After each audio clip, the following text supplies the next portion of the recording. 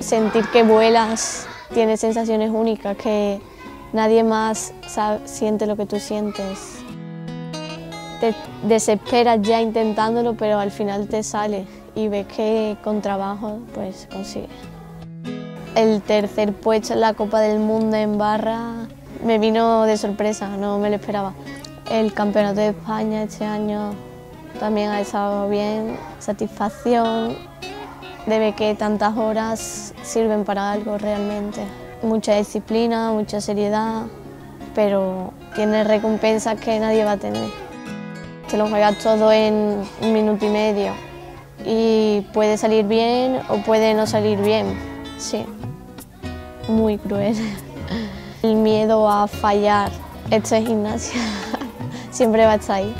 A veces me duele todo el cuerpo, otras veces no me duele nada, ahora me duele aquí, ahora me duele allí. Al principio de empezar con gimnasia me rompía mucho los brazos y eso, pero ya está superado.